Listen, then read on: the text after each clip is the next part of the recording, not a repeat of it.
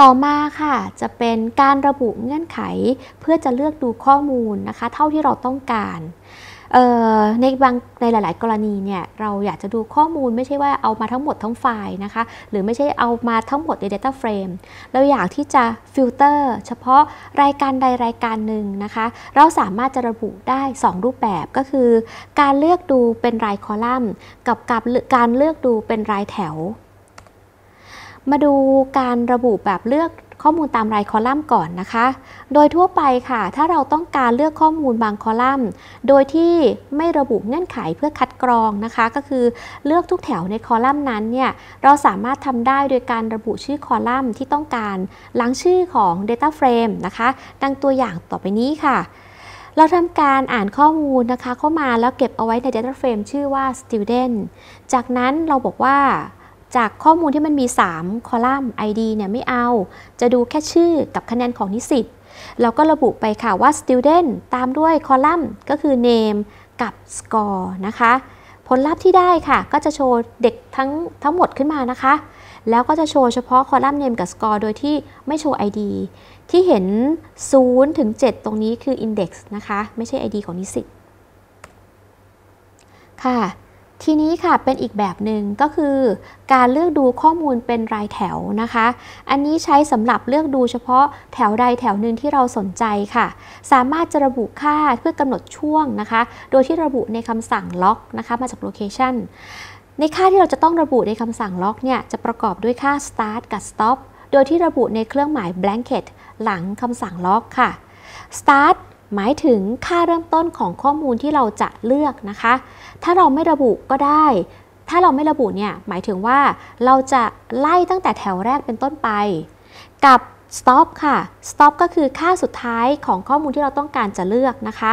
ถ้าไม่ระบุก็หมายถึงว่าจะต้องการเลือกตั้งแต่แถวแรกที่เราระบุค่าใน start จนกระทั่งถึงแถวสุดท้ายของชุดข้อมูลนั้นนะคะ แต่ถ้าไม่ระบุอะไรเลย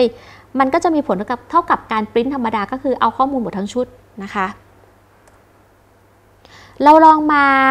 ทำแบบแรกดูนะคะก็คือระบุเป็นช่วงตั้งแต่ ID ไหนถึง ID ไหน ในที่นี้เราจะระบุช่วงนิสิตว่า เราอยากจะดึงข้อมูลเฉพาะคนที่ ID ลงท้ายด้วย 800 ถึงคนที่ ID ลงท้ายด้วย 810 ดังนี้ค่ะ เราทำการ read ไฟล์ CSV เข้ามาเก็บเอาไว้ใน data frame student นะคะ จากนั้นค่ะสั่ง print student log นะคะ แล้วระบุค่าค่ะว่าเริ่มที่ ID ลงท้ายด้วย 800 colon ตามด้วย ID ลงท้ายที่ 810 จะได้ชุดข้อมูลทั้งหมดนี่นะคะ ขึ้นมาตามนี้นะคะ เริ่มตั้งแต่ ID 800 แล้วก็ 810 ตามที่เราระบุไปค่ะคันนี้อีกแบบนึงค่ะ ถ้าอยากจะเป็นการระบุนะคะ ว่าเอาตั้งแต่แถวแรกจนกระทั่งถึงเลขประจำตัวที่เราสนใจ สมมุติว่าเราสนใจว่าเอาถึงจบที่คนที่ ID 208 นะคะ เราก็ระบุได้ดังนี้ก็คือ student log colon ค่ะ ข้างหน้าไม่ต้องระบุอะไรก็คือ default ตั้งแต่ 0 จนกระทั่งถึง ID 208 นะคะ นั่นก็คือจะได้เด็กคนแรกมาเลย จนกระทั่งจบที่คนที่ 208 ที่ชื่อว่าวุฒินะคะ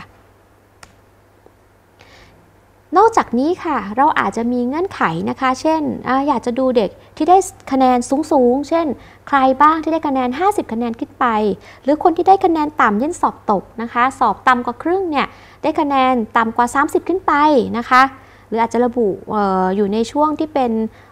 บูลินโอเปอเรชันนะคะ เช่นอยู่ระหว่างช่วงนี้ถึงช่วงนี้ก็ได้นะคะ เราสามารถที่จะกำหนดนะคะเงื่อนไขลงไปในคอลัมน์ โดยที่ระบุตังนี้ค่ะ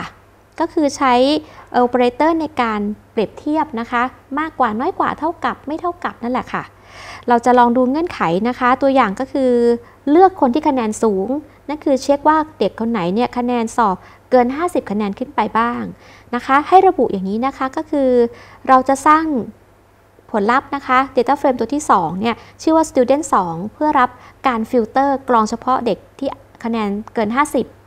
สั่ง student 2 เท่ากับ student นะคะ แล้วก็ระบุว่า student ที่คอลัมน์ score มากกว่าแล้วก็ 50 จากนั้นเมื่อเรา print student 2 ก็จะพบข้อมูลของเด็กที่คะแนนสูงทั้งหมดนะคะจำนวนเท่าไหร่ก็แล้วแต่นะคะ นี่ก็คือคัดมาบางส่วน ก็จะเห็นว่าที่คอลัมน์ score เนี่ยเท่ากับคะแนน 61 52 51 นะคะ ตามลำดับก็จะตรงตามเงื่อนไขที่เราระบุก็คือเกิน 50 คะแนนทั้งสิ้น